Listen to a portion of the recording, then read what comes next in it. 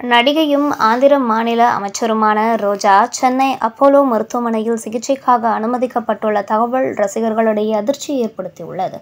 தெலுங்கு படங்களின் மூலம் திரையுறைகளில் நுழைந்த நடிகை ரோஜா தமிழில் ஆர். கே. செல்வமணி இயக்கிய செம்பருத்தி படத்தின் மூலம் அறிமுகமானார். அந்த படம் மிகப்பெரிய அளவில் வெற்றி பெற்றது. தொடர்ந்து தமிழில் ரஜினி சரத்குமார் சத்யராஜ் விஜயகாந்த் கார்த்திக் அஜித் உள்ளிட்ட முன்னணி ஹீரோக்களின் படங்களில் நடித்து புகழ்பெற்ற பிரபலங்களில் ஒருவராக வலம் வந்தார்.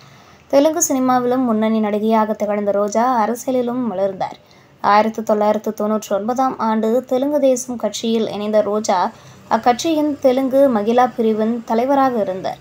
தொடர்ந்து இரண்டாயிரத்து ஒன்பதாம் ஆண்டு அக்கட்சியில் இருந்து விலகி ஒய்எஸ்ஆர் காங்கிரஸ் கட்சியில் இணைந்தார்.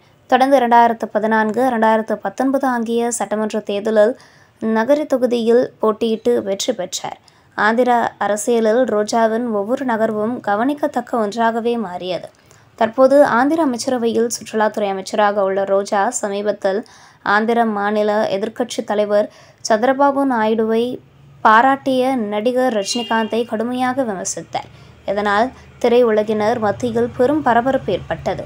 எப்படியான நிலையில் நடிகை ரோஜா சென்னை கிரிம்ஸ் ரோட்டில் உள்ள அப்போலோ மருத்துவமனையில் அனுமதிக்கப்பட்டுள்ளார்? கால் வீக்கம் காரணமாக அவர் மருத்துவமனையில் அனுமதிக்கப்பட்டுள்ளதாக தகவல் வெளியாகியுள்ளது. ரோஜா விரைந்து குணமாக ரசிகர்களும் கட்சி தொண்டர்களும் சமூக வலைத்தளம் வாயிலாக வாழ்த்து தெரிவித்து வருகின்றனர்.